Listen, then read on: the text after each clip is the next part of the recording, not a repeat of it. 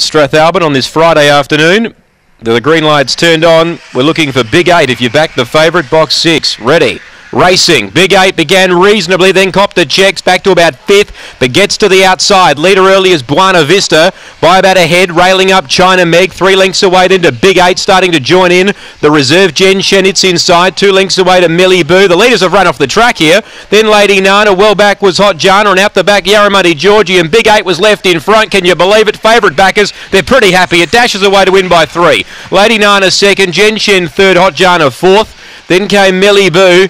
Uh, China Meg, who decided to take a right-hand turn on the home corner. Then Yarramundi Georgie and Buena Vista was the victim of China Meg sprinting out wide.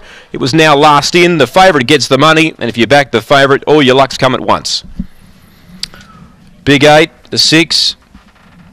Well, you're ahead for the day if you back the favourite. It was never going to win until those two leaders run off the track. Six big eight, the winner, Michael Famuletti, uh, has won the first. Six second, I should say six, the winner, big eight. Second and third we stand by for.